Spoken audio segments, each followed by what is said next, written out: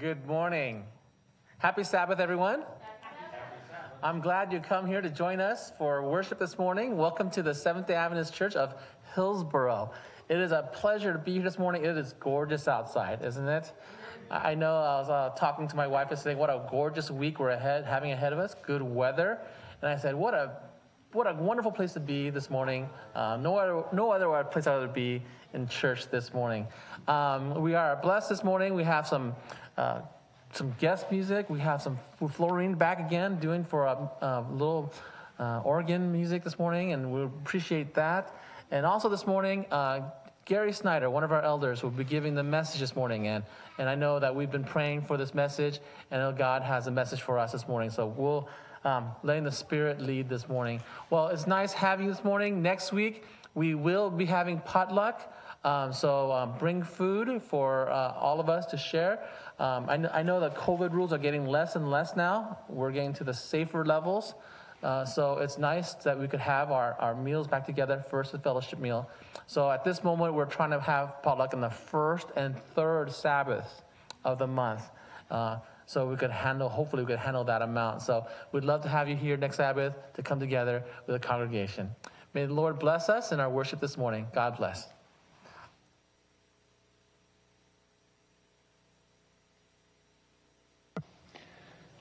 Welcome, everyone. It's that uh, time of the week again where we can come together collectively, uh, worship the Lord on the on the holy Sabbath day. Uh, we've we've actually learned a lot about the Sabbath in our Sabbath school lesson this week. Um, how it's the sign of the covenant, sign of the uh, everlasting covenant with the Lord, and it's a, a day of of uh, restoration, and it shows, uh, uh, commemorates creation and, and, redemption through Christ. Um, when Jesus was with his disciples in the upper room, um, he was a mere hours from going through Gethsemane, going through the, to the cross. He was thinking a lot about his about his disciples, a lot about us actually, and he um, said that there would be a he would provide a helper a comforter, a counselor, um, to, to be with us when he had to, to leave and go back to heaven to, to begin his intercessory ministry. Let's sing today about the Holy Spirit. We're going to start with Sweet, Sweet Spirit, number 262 in the hymnal.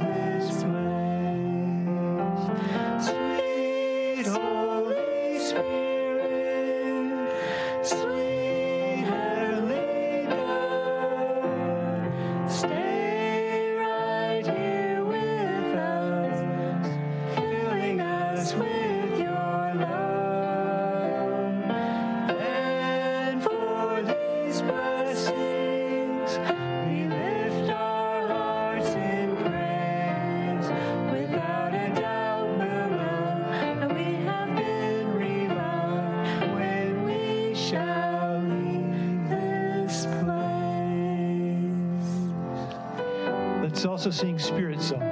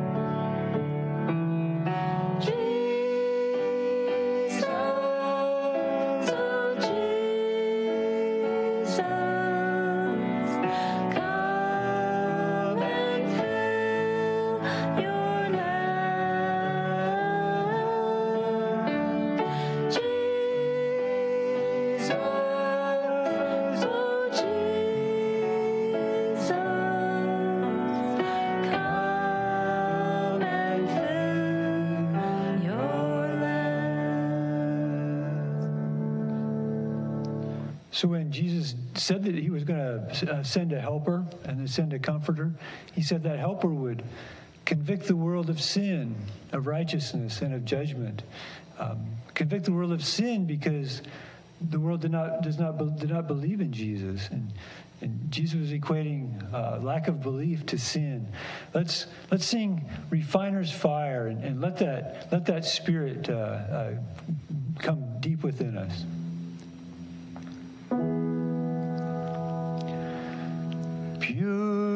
Purify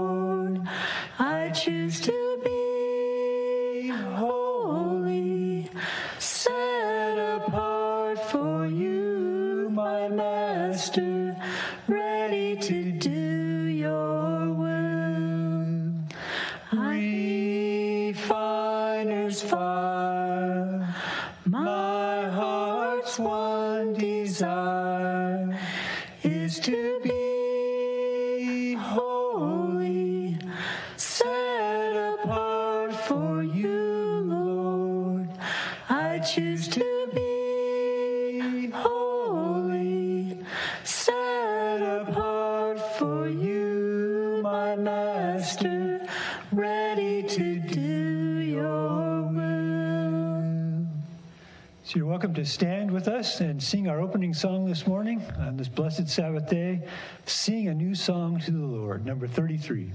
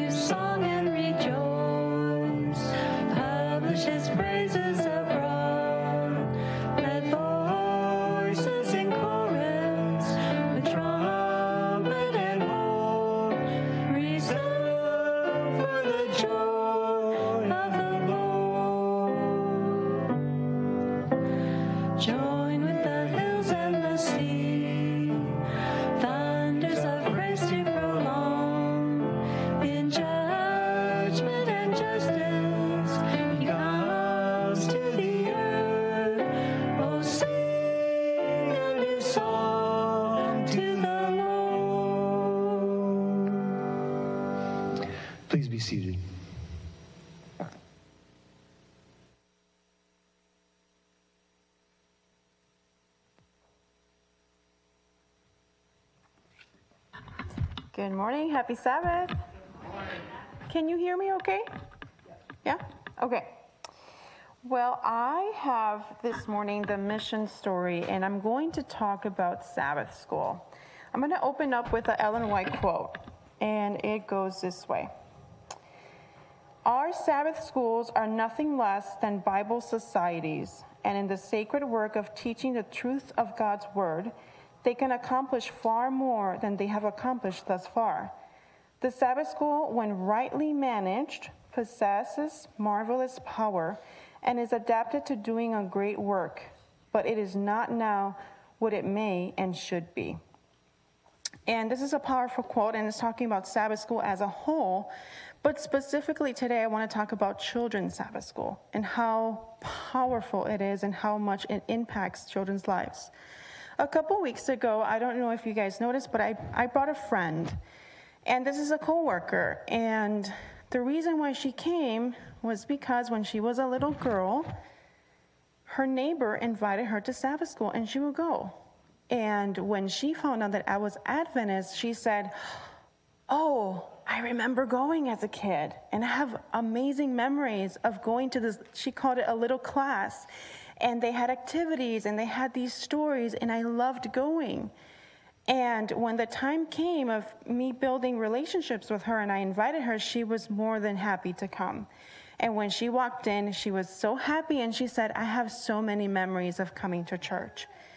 So, my appeal this morning is to if you know of anyone that has small children, eh, please, please we have an amazing Sabbath school that we're starting. I know with COVID, things have been really difficult, but we, we started something and we're starting every Sabbath at 10 o'clock. We have a primary class and we have a kindergarten class.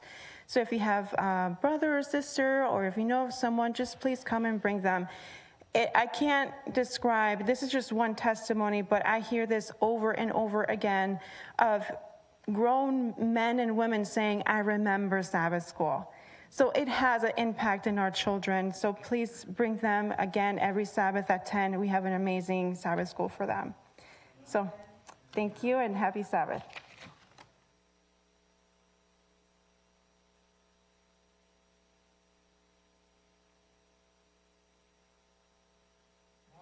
Is this is this on? Oh, great. Perfect. All the kids please come up now if you are, I don't know, let's say 15 or younger. Come up now. Come on. We haven't had Sabbath school with some interaction in quite some time. But come on up, kids, all kids. If you are older than 15, you are welcome to come up here as well. And I'm going to have you guys start in a line. So I'm going to have you turn, and then everyone get behind Sophia. So right here, Sophia, facing me, and line behind Sophia. Line behind Sophia. No, like in a straight line. There we go. Scoot a little bit over. Scoot a little bit over. Perfect. Awesome. Any other kids want to join us for this little illustration? I have this cup here. I have a cup a few inches big or wide, and it's this little cup right here. It's this little glass cup, okay? I'm gonna set this glass cup right here, okay? And everyone gets a little paper ball. Paper ball for you, paper ball for you, okay? Paper ball for you, paper ball for you, and then one more. You guys will get a shot at this too. Okay, stand right there. All you have to do is try to get that paper ball in this little cup. You only got one shot at it though, okay? Sophia, go first. One shot at it. Ooh, close. Noah, you're up. So Soph, come sit right there. Take a shot at it. Try to get it in the cup. Ooh, close. Okay, you come sit. Eden, give it a shot. Ooh, real close. Next, give it a shot. Try to make it in. Ah, almost. You come right here. There you go. There you go. There you go. Did she make it? No, almost. Ooh, another close one. You got it? Ooh, first one to hit the rim. Oh, I see you cheating. I see you. Smart kid. Smart kid. You get one. Okay. Okay. I, I, I, you can come sit right here. Come sit right here. And then you get one. All right, you get one more try. Come on. Ready? Try it. Okay, she didn't want to throw it. Ooh, okay. You guys come over here. So we have a ball, little paper ball. We have a glass cup, and we're trying to make. You want to put it in? Okay, never mind. That's fine. Don't worry about it. I'm, don't worry about it. So the illustration is this, guys. Sometimes we wake up in the morning. Almost. We wake up in the morning, okay? And we want to have a, a great day. In fact, we want to have a perfect day. And to make it from here to there, you have to have a perfect throw. Okay? Right? It's got to be abs- from the from the angle to the velocity, the, the throw has to be perfect. And we wake up and we want to have a perfect day. We don't want to get in trouble. We don't want to, to lie or be mean. But sometimes our days aren't perfect, right? Are your days perfect? Are your days perfect? Are your days perfect? No, not at all, right? And and we feel like we only have one shot to be perfect. But let me tell you something. If Jesus was standing right here, could he make it in that could he make it in the cup? Yeah. Could he do it over and over and over again? Yeah. Jesus is is perfect, right? He had a perfect day again and again and again because he's God. So here's the thing when you want to have a perfect day or when you want to have a perfect moment, all you got to do is go to who? Jesus. I got a little Jesus. Yes, of course, Jesus. Why? Because he's the only one who's perfect. You see, when you wake up in the morning or when you're going to school, all you have to do is ask help from Jesus because he can help you get the ball in the cup. Are you with me? Let's pray. Jesus, thank you because you're awesome and you get to you get the ball in the cup every single time. We need help with our school or with listening to our parents or sometimes even doing chores or waking up early. We just need your help. And it's hard sometimes to get the ball in the cup. And so just help us. In your name we pray. Amen. Amen. That's it. Thank you, guys.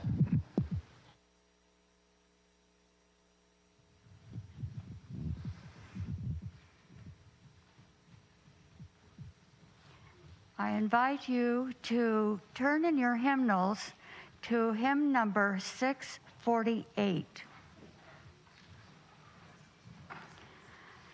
This hymn actually comes from a symphony written by Gustav Holst, a British composer in the late century. Uh, the tune is almost haunting. But the words are glorious. And as we remember this holiday that we celebrate this weekend, I found it fitting to probably introduce this hymn to you because I think it's probably very unfamiliar to you. I will play through it oh, like one and one half times, but I urge you to look in the hymnal uh, to ponder the meaning of the words.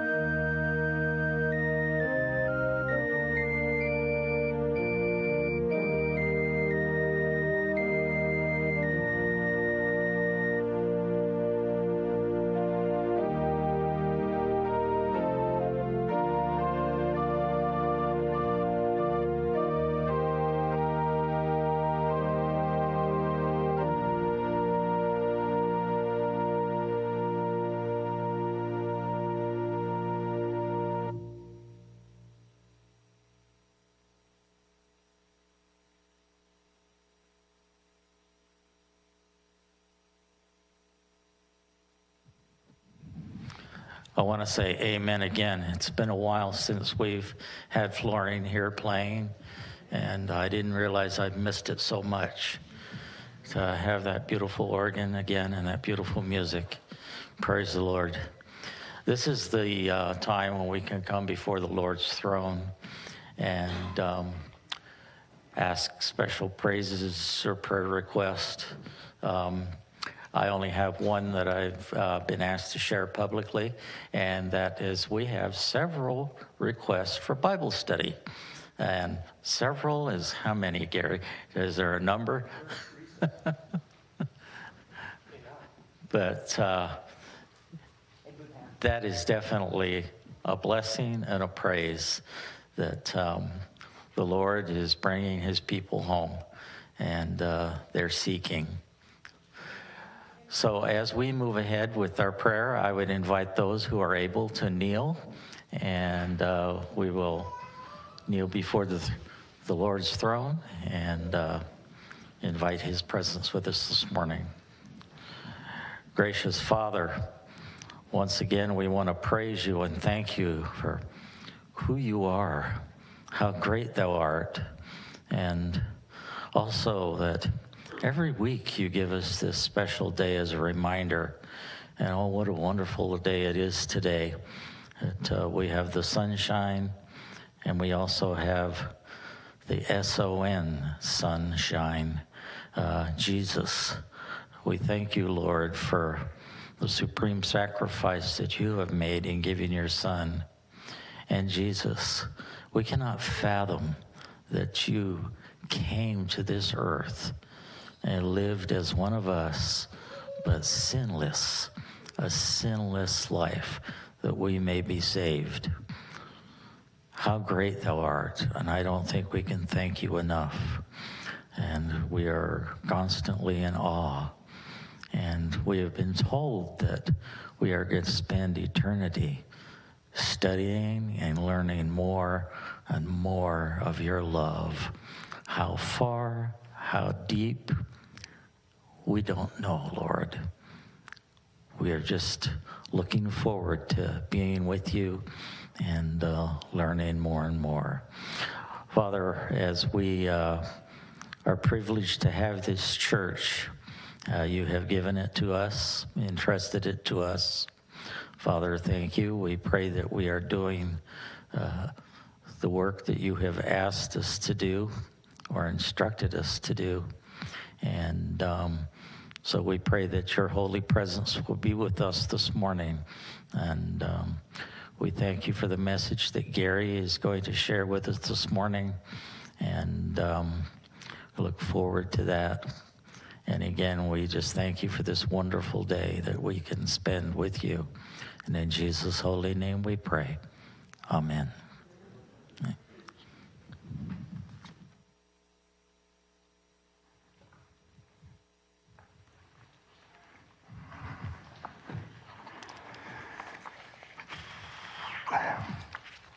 Thank you, Pastor Danny, wherever you are for giving me the opportunity to uh, to talk with the church family. And he early on we talked about this being a sermon, and I said, no, it's it's it's not a sermon.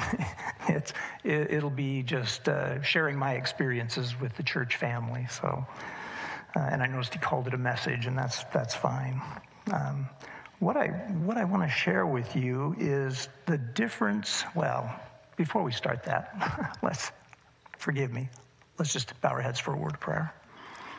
Heavenly Father, may your presence be here. Lord, may you be seen and you be heard. We ask in your holy name. Amen. And what I wanted to talk about is just the difference between doing for Jesus and living in Jesus.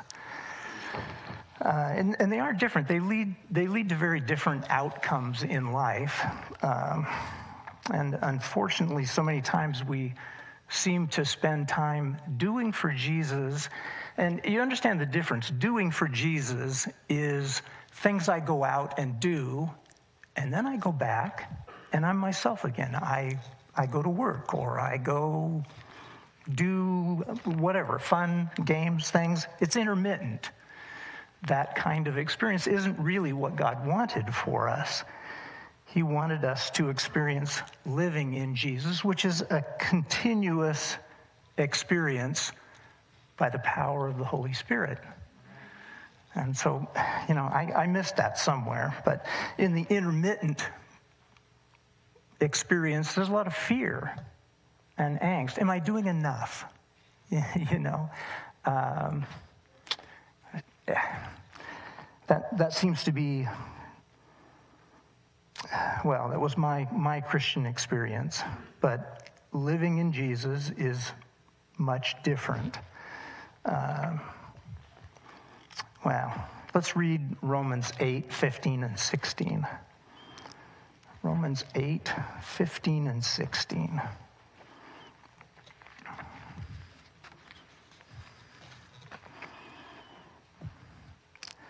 For you did not receive the spirit of bondage again to fear, but you received the spirit of adoption, by whom we cry out, Abba, Father. You know, Daddy, Father. The Spirit Himself bears witness with our spirit that we are children of God. So, you know, that, that continual living is in the Spirit, and Paul is talking about it here in Romans. The doing for Jesus, uh, at least in my experience, was a little bit like a friend, a good friend, giving you a car and telling you, I, I want you to go out and run errands for me out in the community. And, uh, and oh, by the way, if you, when you run out of gas, there's an infinite supply of fuel available. And so we, I, got in the car, and you start driving around and doing the errands, the things that you think are right, going to church, Sabbath school, whatever. You're doing those things for Jesus. Uh, and that, that all goes well, and you're having fun uh, until you run out of gas. And for some inexplicable reason, we, we forget that there's an infinite supply of gas available for the asking. And so, what do we do? We've got this car, it's lovely.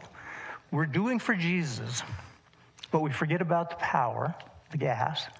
And so we get out and start pushing it. And we push it along, and that works pretty good as long as the ground is flat, level if the ground, you know, eventually you're going to come to a, a hill.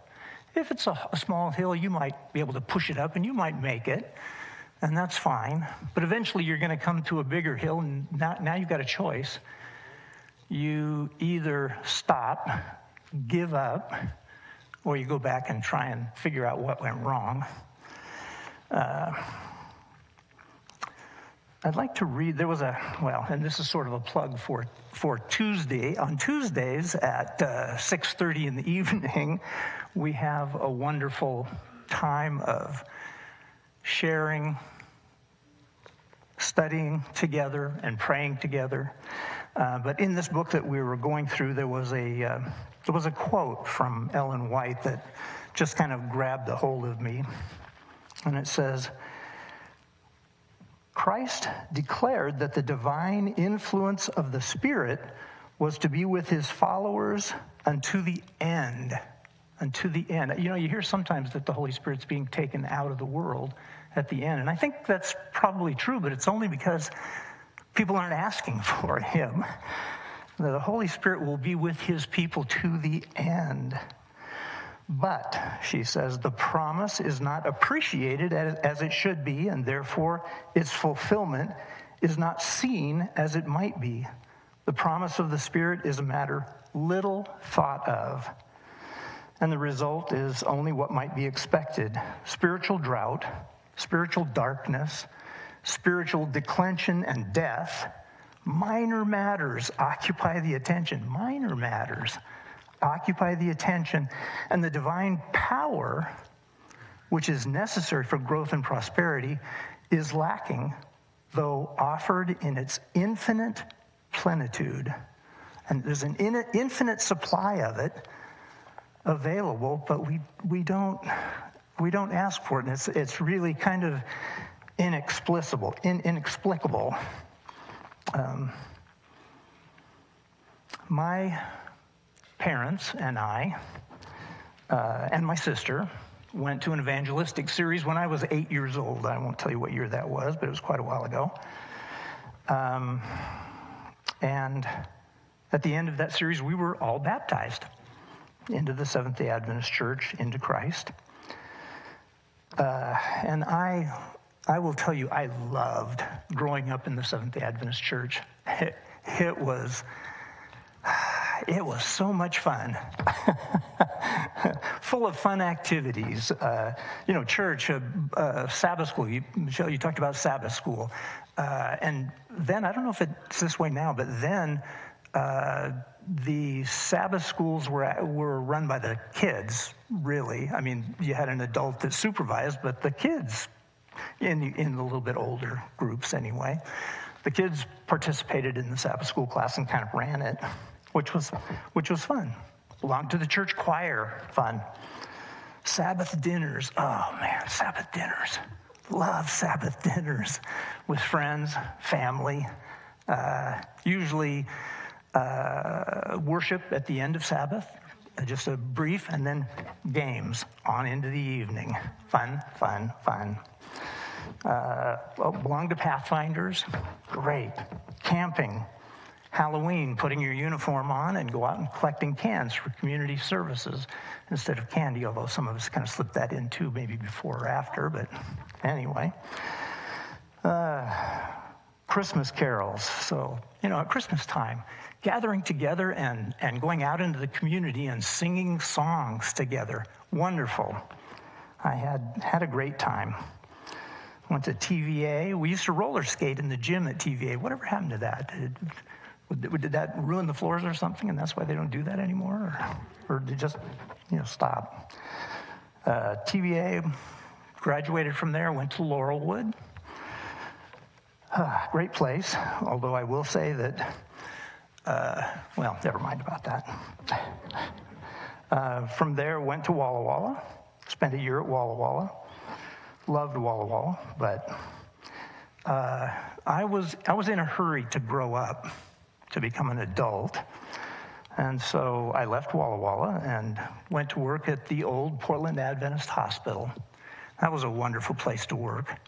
Uh, at shift change, you, you would um, have worship, and then at the morning shift change, everyone would walk around the halls singing hymns to wake people up. Uh, it was, it was wonderful. I, I really, I really enjoyed that. Um, and of course, because I wanted to grow up so fast, and if there's kids here that are 18 or 19, don't grow up so fast. But uh, I was in a hurry to get married. So, uh, married my first wife. Uh, at age 19, three years later, we had two. We had one boy, and then three years after that, we had another son. That was great. But you know, my wife was very committed to the doing for Jesus. she grew up in a conservative Adventist home, which is great. Um, but I, I would say we both failed to learn about what it means to uh, for living in Jesus by the power of the Holy Spirit. We really did not learn that. Uh, you know, we were committed to keeping the rules, and you know, we all know the rules. We talked about some of the rules in Sabbath school class today uh, a little bit, but uh, you know, there's God's ten rules. We all know those, right? You know, no uh, God, only only God. Uh, no idols. Don't, don't misuse the name of God. Sabbath, honor your parents, check, check, check. And so, you know, we were, we were checking off the list and yeah, we're pretty good, you know, not a problem.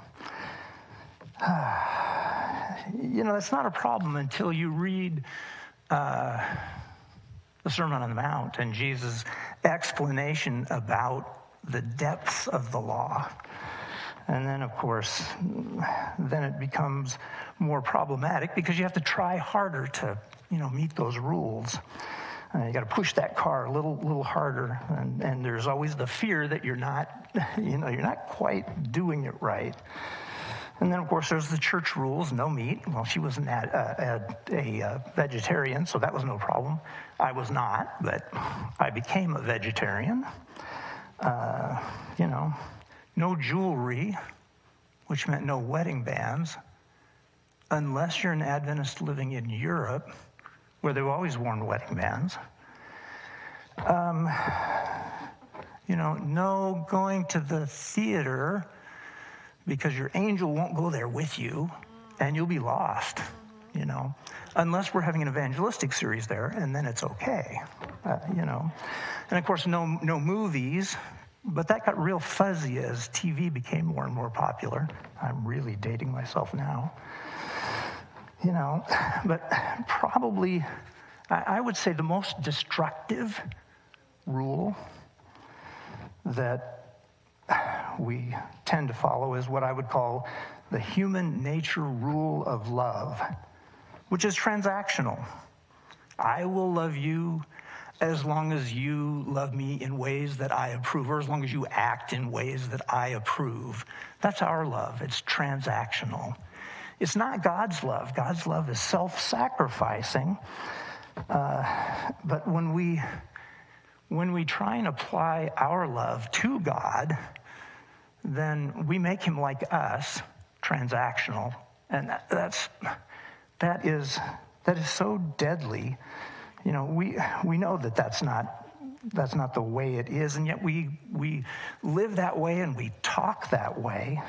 And, uh, you know, we, we go through life believing that that's how things should be. You're just, you're, you're doing for Jesus, you know. Um, like I said, the deeper you look into the rules, though, uh, the more human nature, the flesh struggles against it. Uh, we see that in Paul's experience in Romans 7, 1, uh, Romans 7, let's just read Romans 7, 4 through 6. So, Romans 7, 4 through 6.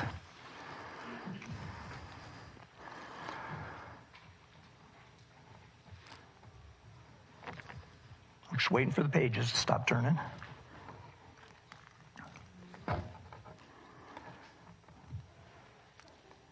Therefore, my brethren, you also have become dead to the law through the body of Christ, that you may be married to another, to him who was raised from the dead, that we should bear fruit to God. For when we were in the flesh, the sinful passions which were in our members, uh, to bear fruit to death. But now we have been delivered from the law, having died to what we were held by, so that we should serve in the newness of the Spirit and not in the oldness of the letter. You know, we read that, we talk about it, but I don't, I, I, I didn't get it in my own experience, that's for sure. Um, you know, the I don't want to die is, is what the human nature does. It doesn't want to die, it want to live. And, and the problem is that as you continue life in a rule based living rather than continuous Holy Spirit living, it's terribly easy to develop a critical nature and that's what I did. I just became critical. So I'd look at other people and say, well, they're not doing that. Well, that's not doing, you're not doing, you know. Uh, it's, it's a, you know, it's a terrible thing. And of course, as, as, as you become critical, uh, you become a what I would call a, a finger shaker. I had a, a, guy that I worked with, brilliant brilliant guy. Um, but you'd sit in meetings with him, and it was always, you know, you know, that kind of a thing, finger shaker. Um, and one time, his son, who, who was a teenager, was a great artist. And he drew a caricature of his dad, drew this nice picture that his dad put in his office and was so proud of it. But it was his dad sitting at his desk shaking his finger. and I don't think he ever got the, the irony of it I, because he loved his son and he loved the picture. Uh, and of course, I've laughed about that all these years, but in retrospect, that was me too, you know, with, with spiritual things, with religious things. I was a finger shaker, a, a you know, if you're not following the rules, then, then there's a problem. You know, and so you just dig deeper, you know, a deeper commitment for doing for Jesus. That always seems to be the answer when you're struggling. Um, and my wife and I were struggling with our relationship with each other and with God. Um, so, you know, when you're struggling with your relationship with each other and with God, what do you do? What do you do? Well, that'd be the right thing to do. But what we did, yes, that'd be the right thing to do, pray. But what we did was uh, focus on doing more for Jesus. So, you know, you just dig in and become more, more involved, more doing. And so, you know, we went to work for really a wonderful health education ministry. Uh, nice place, but didn't take too long for us to realize that, you know, it's just people, and sometimes people come into those ministries uh, because they're like us, doing more for Jesus and not not living in the Spirit. And what we experienced was, you know, kids get dragged along in places like that. Our kids did too. And what we experienced was bullying by some kids. Uh, you know, you just wouldn't expect that. Um, bullying, I, I suppose the thing that was disturbing for us, it's a small thing really, but disturbing for us in the end was because this was a health institute and they wanted everyone to reflect that. They actually had a discussion about checking staff groceries as you came onto the property. And it, that was just discussed. It was never implemented. Fortunately, saner heads prevailed, but. Uh, but we knew that really wasn't for us, and it wasn't helping our relationship. And so we left, and my wife at the time got so tired of pushing that car up the hill that she just gave up on Christianity altogether. So, and it, it's, you know, it's such a loss because she is a wonderful pianist, has a, a wonderful singing voice, uh, but all of that talent has been lost. And why? Because we didn't understand about living in the Spirit. And we were just busy pushing that car up the hill until she just got too tired out, couldn't do it anymore. Um, uh, so, you know, we got divorced. My, my boys are both atheists. They're in their 40s. They're both atheists. And, you know, I don't blame them at all because the picture that I presented to them of God was this, this, this, you know. Do no, you got no, you got to do this. No, no, no. And uh, you know, so I actually have a better relationship with them now because I just love them for who they are. I don't have to try and push them into some mold that they don't want to be in into. Uh, that, that was a dark, real dark point in my life, obviously, uh, getting divorced. But fortunately, the Lord always watches out for us and brought Diane into my life, which was a blessing. You know, she is probably the sweetest, kindest person I know. So kind, we can't watch nature programs because she can't watch animals being hurt or killed. So, no nature programs at all. You know, it's just, that's the way it goes. Um, uh, she wasn't an Adventist, so as we were dating, she came, came to church with me. you know, we'd talk about Sabbath and, you know, this and that and the other thing, what you can and can't do on Sabbath. And at one point she just said, just give me the list. just give me the list. And, you know, you try and say to her, well, there isn't really a list, you know, other than the Ten Commandments and what it says. But it's about relationship. It's about relationship. Well, you know, all the rules are really about relationship. They're not, you know, when you keep the rules because you're keeping the rules because that's what you do, you keep the rules. Yeah, you, you're you're pushing that car up the hill and you're going to get tired and you're going to get worn out and eventually it'll roll back over you and probably you know it'll it'll be a problem uh, fortunately i think fortunately um, my parents were in their 90s and needed care, and we made a place for them in our home. And they came and stayed in our home with us. And uh, they were frail enough that they really couldn't go to church. So we just stopped going to church. You know, and I say that was a, a good thing, but it, it was a good thing for me at that point in time because I had had enough too, pushing that car up the hill. and at some point, I just said, Lord, I, am I'm done. I, I, you know, I've had enough. I just can't do this anymore. This pushing the car up the hill thing, it's not getting me anywhere at all. I don't like it. The fun's all been sucked out of it, you know, and fun's important. Uh, and it is important. It's important for kids to have fun.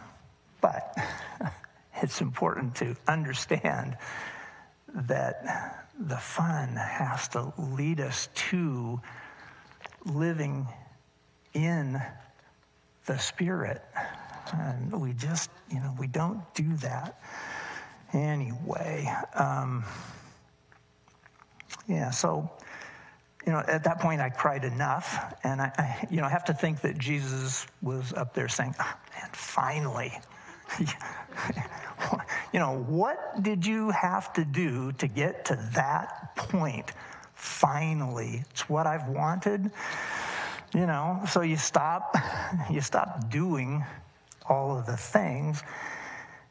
And the decision was to go back to basics. Well, you know, what's the basics? What do I know that's the basics?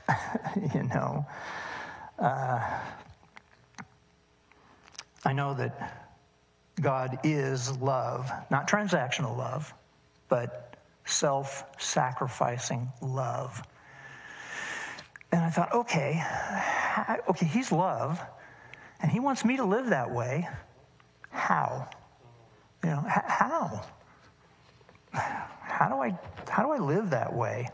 How do I get rid of that critical spirit? critical spirit, which, by the way, led me to church hopping. Have any of you done that? You know, you, you're looking for a church that meets your needs rather than a church that is in your community and that you can be part of and you can, you know, hopefully get out of the way and let the Holy Spirit, you know, you can be part of it. That is part of that critical spirit, and that's what had to go, had to go. Um, Let's read Romans 5, 6, and then 8 through 10. I mean, I'm just, these are things that I read in my study, trying to look for what's the basic, you know, what do I know? What, what do I really believe? Strip away all of the other stuff, just all the, all the rule based stuff. What, what is it that God wants? And so, yeah, so let me get there. Romans 5, verses 6 and then 8 through 10.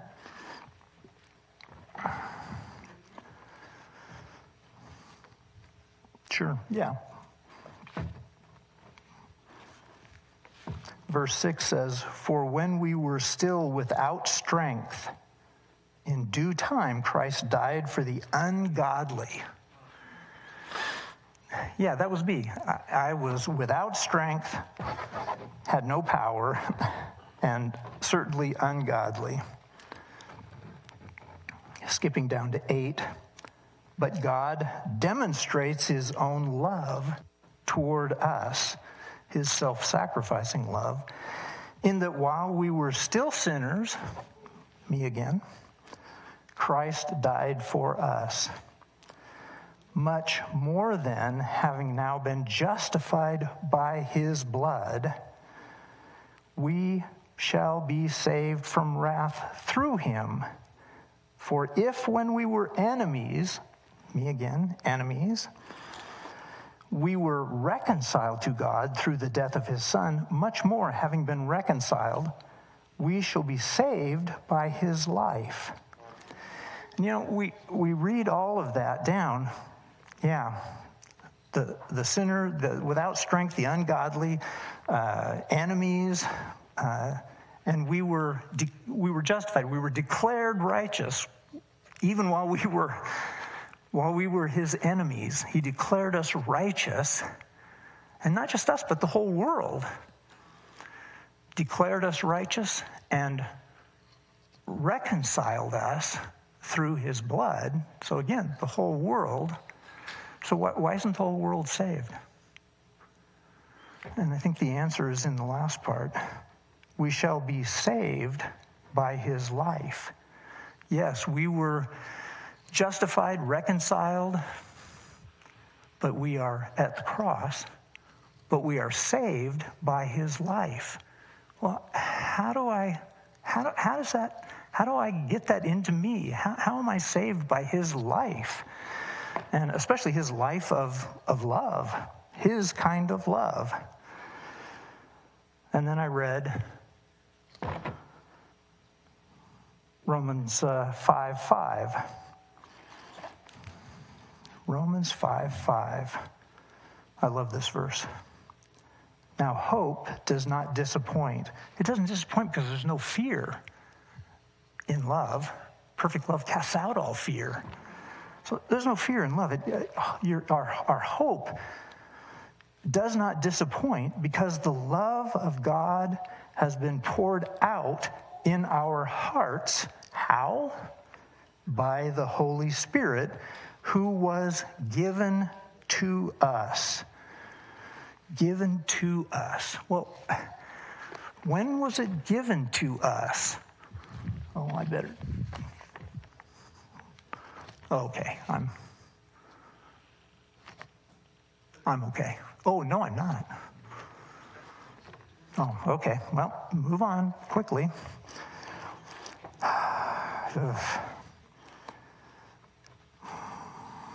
Yeah. You know, I had a, I had a professor that uh, uh, was taking a class on, on the book of Acts. And one of the first things he said was, You know that this book is named wrong. It, it calls it Acts of the Apostles, but it really should have been named Acts of the Holy Spirit in the apostles, in the church. It's acts of the Holy Spirit. Yeah.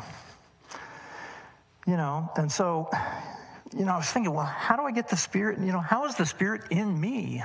And how do I know it's in me? Uh, and then, of course, you go back to those famous verses in John 3 where Jesus is talking to Nicodemus. Let's go back to John. John 3.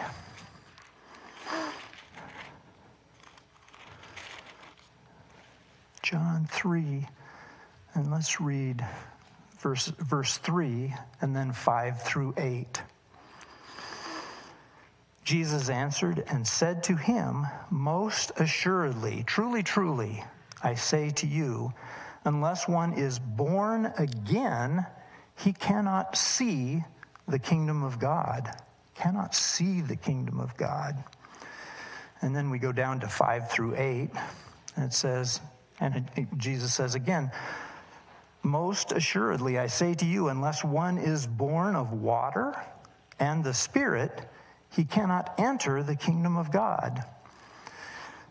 That which is born of the flesh is flesh, and that which is born of the Spirit is spirit. Do not marvel that I said to you, You must be born again.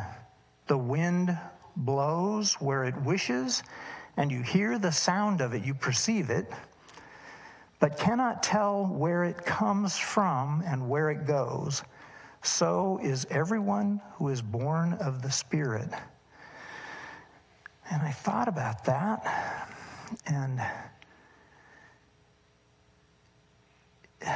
you know, you, he says you cannot see the kingdom of, of God in, uh, well, yeah, first he says you cannot enter the kingdom of God. Then he says you cannot see the kingdom of God. So there's seeing and entering. When does the kingdom of God come to us? We're Adventists. So we say, when Jesus returns, right? No, that's not what Jesus said, actually. Go to Luke 17 20. Luke 17 20.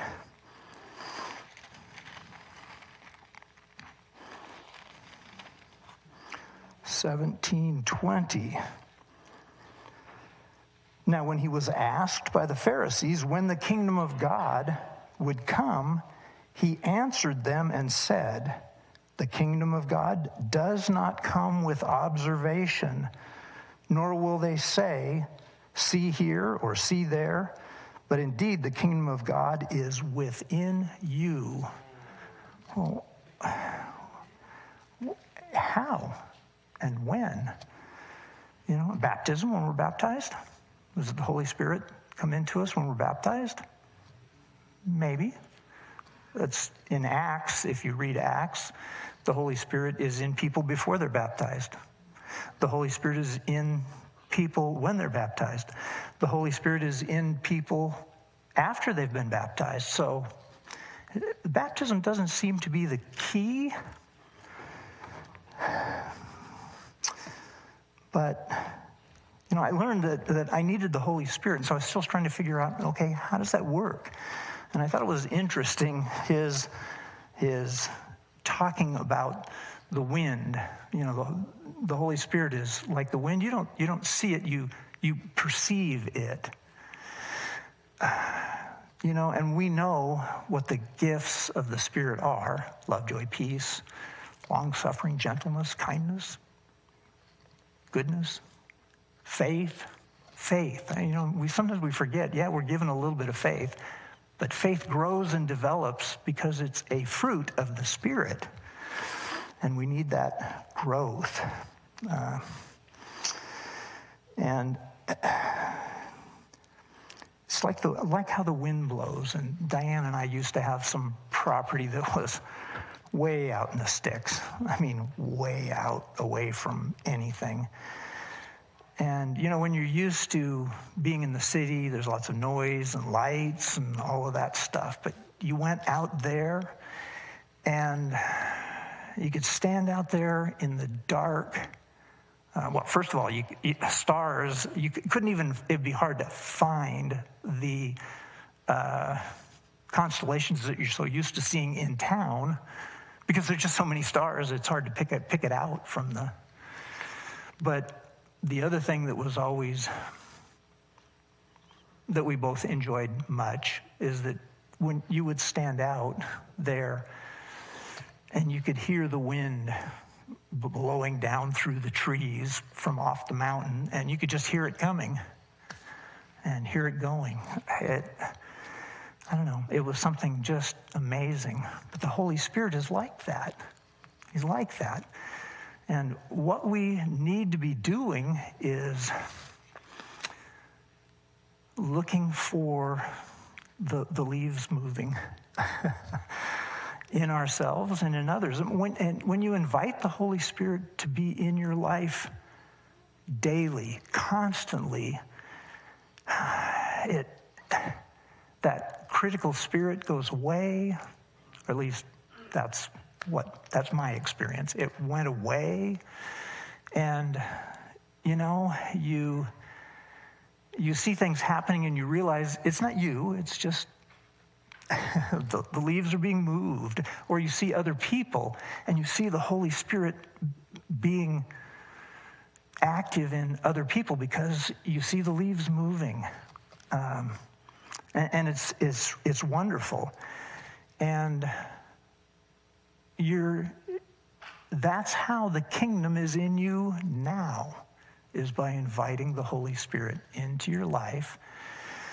Not a baptism, although it's a good time, but every single day. and every moment of the day when you get up in the morning and you praise God for another day. As you get older, that becomes more important. For another day, and before your feet hit the floor, you say, Okay, I need the Holy Spirit. Show me, uh, working in me today. And that's, that's what I have found. And, and I would say, yeah, the kingdom of God is coming, but if it's not in you now, if, it's, if the Holy Spirit's not bringing the kingdom into your life now, will you be there? He wants it. He wants this. He wants, he wants the Holy Spirit to be in you now, His kingdom to be in you now, not, not at some point in the future yeah, we'll be in the kingdom and it'll be wonderful, but it can be wonderful now. Anyway, let's just bow our heads for prayer. Heavenly Father, we thank you that you love us so much that you allowed your Son to die for us, to show us what self sacrificing love is all about, and that you promise, you've sent the Holy Spirit and promised the Holy Spirit to be in us if we will just ask. Lord, we thank you for these gifts the gift of, of love and salvation, the gift of your kingdom now. We thank you and praise your holy name. Amen.